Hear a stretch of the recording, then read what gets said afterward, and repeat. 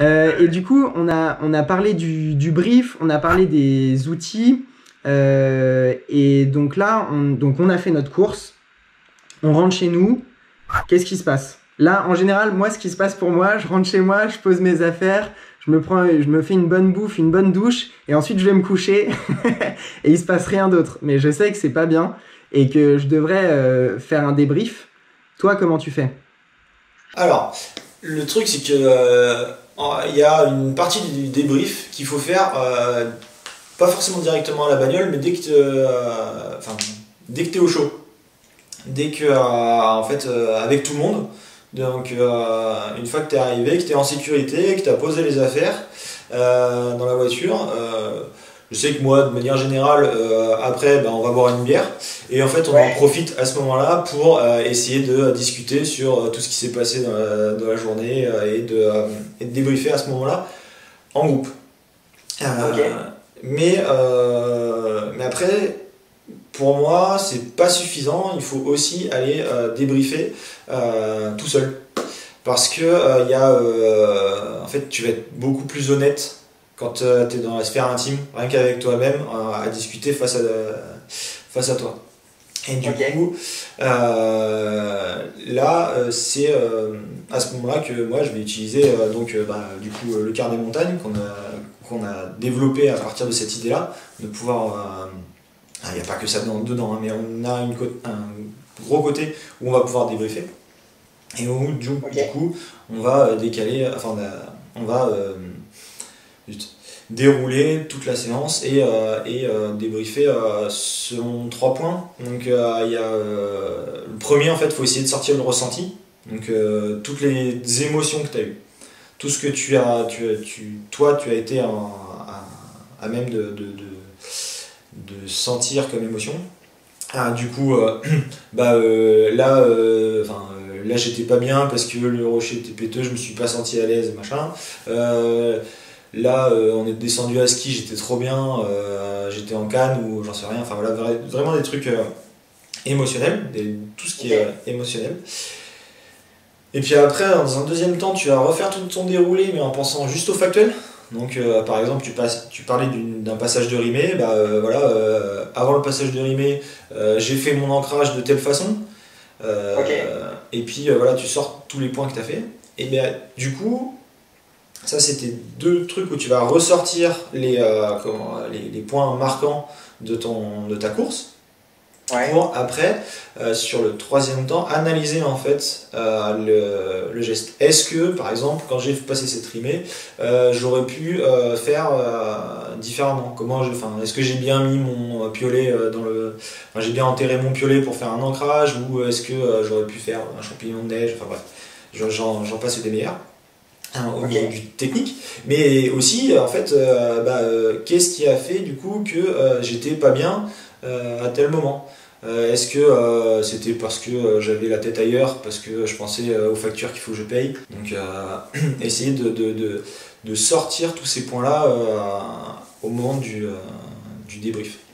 Ok, donc en gros, si j'ai bien compris, tu vas, tu vas décomposer les éléments euh, donc toi, tu décomposes euh, ce qui s'est passé en termes de ressenti, donc d'émotionnel, ensuite le factuel, et euh, tu essayes de, de, de voir euh, les deux, comment ça s'est passé et comment tu pourrais améliorer ensuite chaque, chacun des, des deux, chacune des deux parties, quoi, le factuel et l'émotionnel. Ah ouais, exactement. Et du coup, tu recherches euh, par là des, axes d'amélioration, tu vois. Donc, euh, est-ce que j'ai bien fait ma prépa de course euh, Est-ce que j'ai bien lu l'itinéraire Est-ce que au niveau de la technique, je suis bon Est-ce que au niveau du physique, j'étais bon La prépa mentale, qui est en train d'augmenter, mais dont on parle pas non plus encore hein, trop trop. Et les facteurs humains, donc la gestion de toutes tes émotions, quoi. D'accord. Et, de, et du, de ton binôme aussi. Ouais, ok. Et euh, donc, ce qui, est, ce qui, est, pas mal dans votre, euh, dans votre carnet, euh, c'est que du coup, ce, ce, cette, euh, cette procédure-là, enfin, en tout cas, ce, cette liste de choses, pour, enfin, il y a toute une liste pour t'aider à faire ton débrief, quoi. Donc, je pense qu'on mettra une image pour, pour montrer le, le, le, contenu du carnet, mais en gros, donc évidemment, tu as les trucs classiques, genre nom de la voix, massif, etc., pour savoir où est-ce que tu étais, quel jour, avec qui.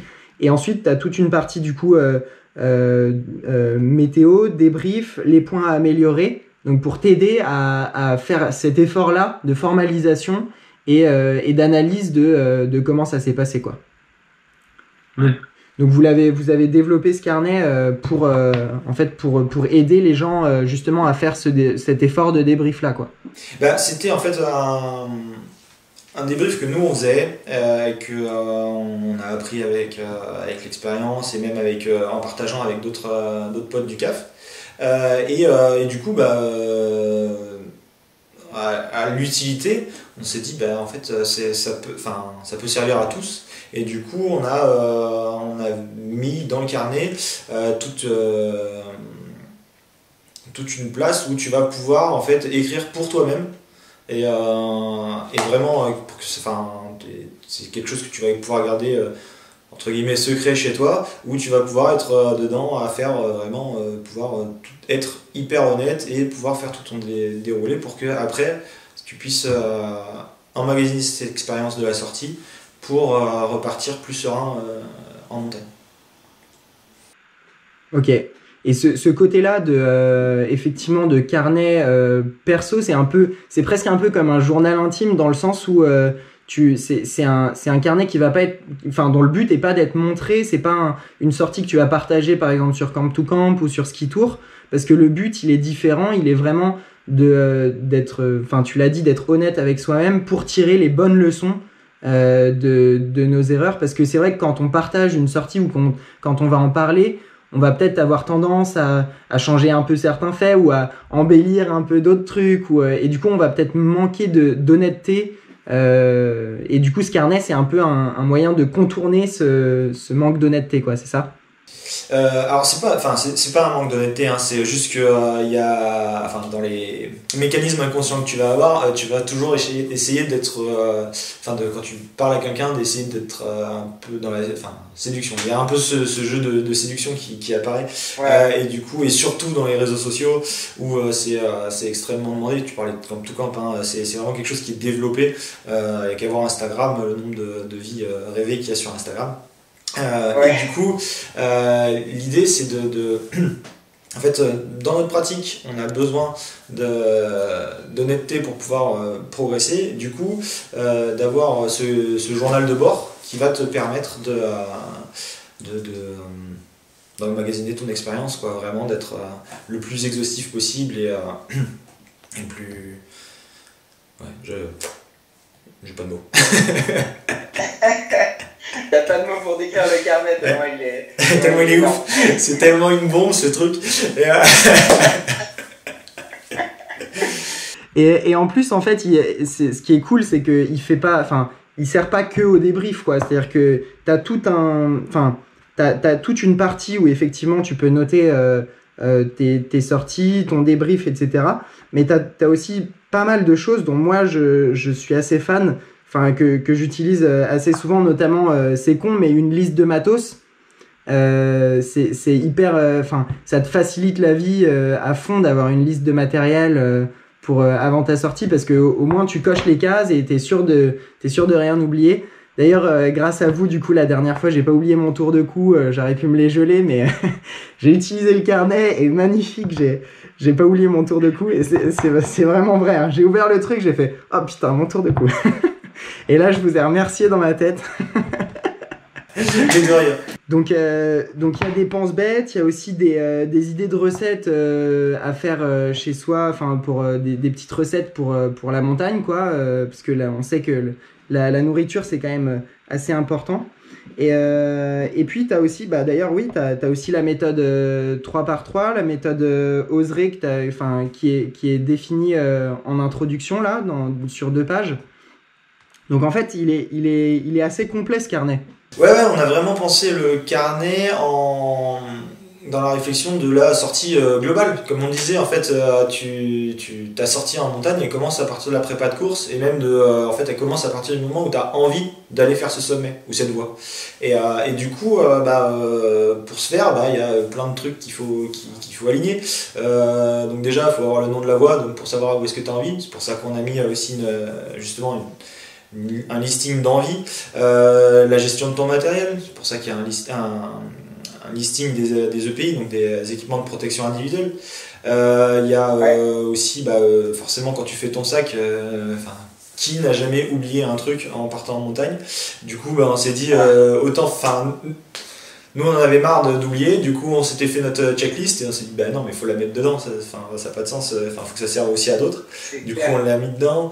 Euh, et puis après, il y a euh, des petites méthodes euh, de, de, gestion de risque comme le 3x3 ou, la méthode Osray, enfin la gestion de course. tu vas avoir. Enfin bon, tu as ton, ton, journal de bord et puis après, à la fin aussi, c'est là aussi pour t'aider à progresser. Donc il y a un tracker avec euh, les, points à accès et tout, euh, comme ça, régulièrement dans ta pratique, tu te poses la question, bah voilà, ok, euh, il faut que j'aille plus sur ça, il faut que j'aille plus sur ça.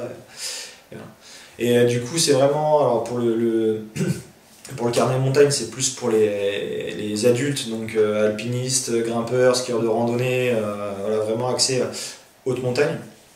Et puis on a essayé de faire la même chose pour euh, pour les enfants, mais plus axé sur la découverte du milieu. Euh, j'avais une autre question. Euh, parce que donc des méthodes, enfin des, on va dire des, aujourd'hui des sites sur la montagne, des sites de feedback, de sortie, etc. Il y en a. Enfin, il y a Ski Tour comme tout comme pour citer les, les deux plus connus.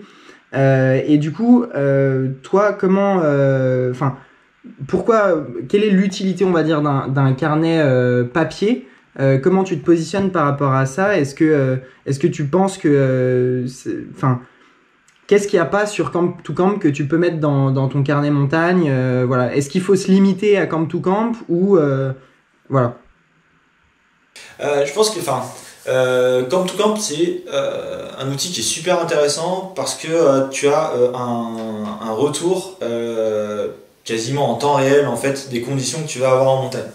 Euh, ski tour, c'est pareil. Enfin, je veux dire, le euh, nombre de fois où j'étais inspiré par des gars qui étaient sortis dans, dans, dans un ballon pour aller faire une sortie euh, en ski. Et, euh, et puis, puis les photos en général te font un peu. Enfin, te donnent envie de sortir. Mais le, le, truc, c'est que, on en parlait tout à l'heure, tu vas avoir une. La, la, pression sociale qui va faire qu'il va falloir que tu sois fort et que tu sortes ta, ta que tu fasses ta sortie euh, vite. Euh, enfin bref, il y a, y a, plein de, de petits. De, petits excitants que tu vas avoir dans, le, dans les, les, les, réseaux sociaux et euh, que tu n'auras pas en fait dans le carnet montagne. C'est vraiment un temps à part, c'est complètement complémentaire parce qu'on a besoin des infos qui sont sur le terrain pour tout le monde, enfin pour améliorer la préparation de la course et du coup améliorer ta sécurité en montagne. Euh, mais euh, après, toi, pour, enfin, tout le monde n'a pas besoin de savoir que euh, tu as fait tel ancrage et du coup qu'il faut que tu le changes. du coup, ça, comme tu sais que tout le monde n'a pas besoin, tu le mets pas sur Camp to Camp. Du coup, bah, en fait, ça, ça, passe à l'as. Ça passe à l'as et tu, tu, pourrais, enfin, voilà, tu, tu, tu vas oublier des éléments en fait quand tu vas rédiger ton, ton compte rendu camp to camp. Je pense. Ça, c'est clair. Euh, ouais, ouais, ouais. Non, mais c'est hyper vrai. Enfin, c'est vrai que. Enfin, tu vois, je, je, je, viens de réaliser, en fait, quand tu, quand tu l'as dit, je me suis dit, bah, c'est vrai que moi, quand j'écris une sortie sur, euh, sur Camp to Camp, je vais, je vais noter ce qui est utile aux autres. Mais euh, en fait, je vais, je vais pas forcément noter ce qui est utile à moi, à mon feedback à mon, et à ma progression. Donc en fait, c'est vrai que je, note jamais ce, type de choses, quoi. Euh, j'ai fait tel ancrage, bah en fait c'était et puis en plus c'est toujours dire c'est toujours dur pardon de de dire quand t'as fait une connerie quoi. Genre tu, vas pas forcément dire que t'as fait un, un, vieux un vieil ancrage tout pourri sur un rocher qui qui tenait pas bien ou j'en sais rien tu vois. Et et c'est vrai que quand quand tu enfin du coup quand tu l'as dit je me suis dit putain mais ouais carrément. Tu mets pas du tout la même chose en fait quand c'est quand c'est pour les autres et quand c'est pour toi quoi. Ouais. C'est pour ça que c'est. Enfin, euh, moi je sais que enfin, j'arrive pas à m'en passer du, du carnet montagne. Alors euh, déjà, enfin, au début, je le faisais avec le boulot parce que c'est une obligation légale euh, en tant que chasseur alpin. Mais, mais même en fait, maintenant qu'on a étoffé le truc, c'est vraiment. ça permet vraiment de, de, de ressortir tous les éléments sur lesquels il faut que je bosse et, et ça, ça, permet de, de, gagner énormément en expérience assez vite en fait, mine de rien. Ouais, c'est clair.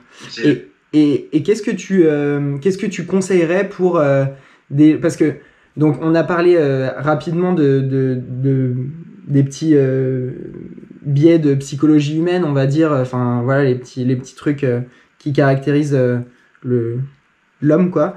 Euh, et un des trucs qui nous caractérise, c'est que le changement, on n'aime pas trop ça. Euh, c'est difficile de changer, c'est difficile de changer ses habitudes. Comment, euh, enfin, quel conseil t'aurais pour quelqu'un qui est pas forcément organisé à fond Je ne vise personne, si vous voyez ce que je veux dire.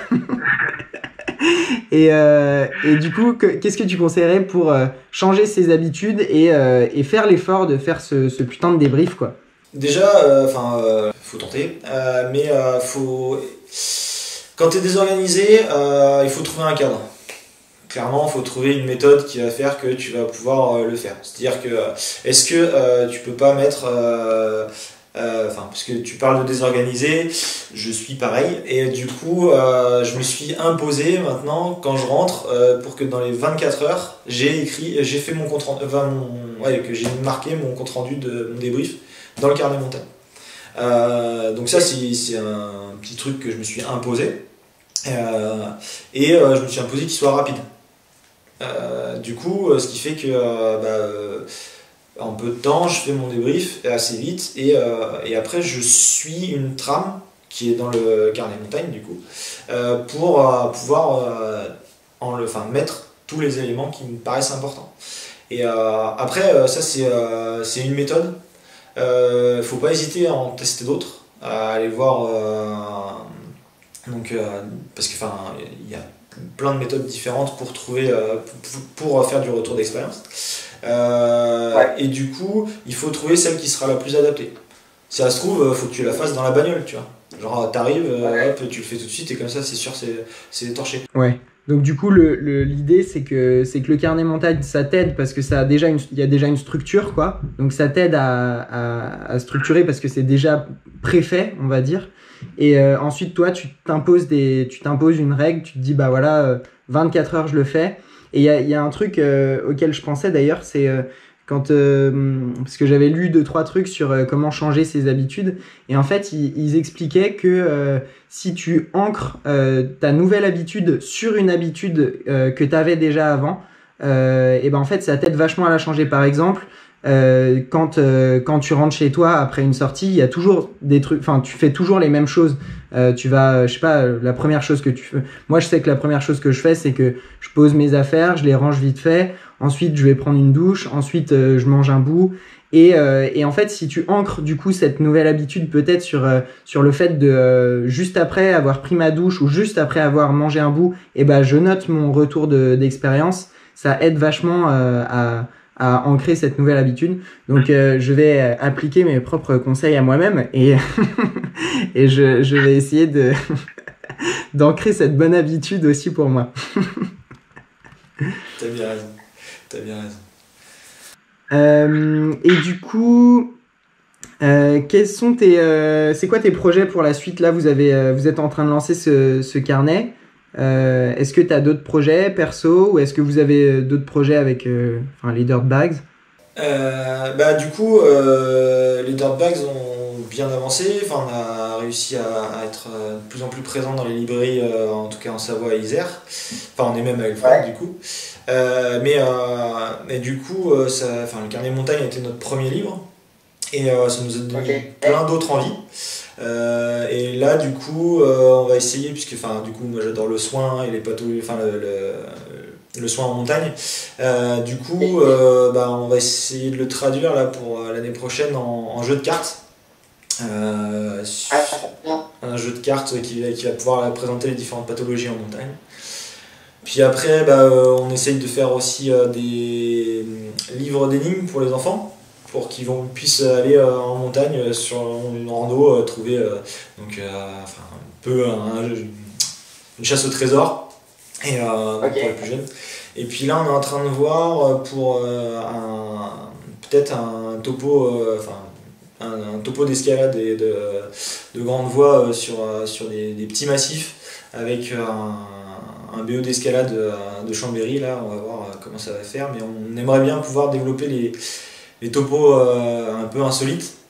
euh, pour, euh, pour que en fait on essaye de diminuer la surfréquentation des, des lieux d'escalade ou- puisque en fait Camp to Camp met en avant certains certains lieux et donc en fait euh, bah, tout le monde a envie d'y aller et allez euh, hop on y va du coup essayer de de répartir un peu tout le monde dans la montagne et euh, Ouais. parce que bah, ça va diminuer enfin pareil parle de sécu bah, plus on est dans une voie euh, moins on est en sécurité donc du coup euh, Ouais. même si Camp to Camp c'est cool Non, non, c'est sûr. Non, mais Camp to Camp, c'est, enfin, en plus, tu l'as dit, c'est un, c'est un outil qui est génial et c'est pas, je pense pas du tout que ça soit, euh, que ça soit euh, l'un ou l'autre, quoi. Enfin, je pense que c'est, c'est vraiment complémentaire. Je pense que, enfin, bon, je vais répéter un peu ce que tu as dit, mais, mais le fait de mettre sa sortie sur Camp to Camp, ça aide les autres.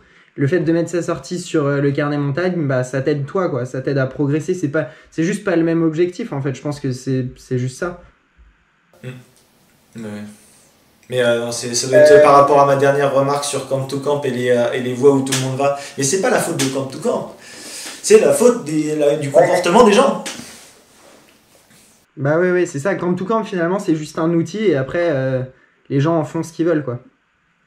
Ah oui, carrément. Euh, ok, et ben euh, c'était euh, c'était hyper intéressant. Enfin moi j'ai appris plein de trucs en tout cas. Donc ce que je ferais c'est que je mettrais du coup le lien du carnet montagne en description. Euh, et puis euh, bah allez l'acheter. Qu'est-ce que vous attendez? Pourquoi vous êtes encore devant cette vidéo? Mais foncez quoi. allez acheter le carnet montagne.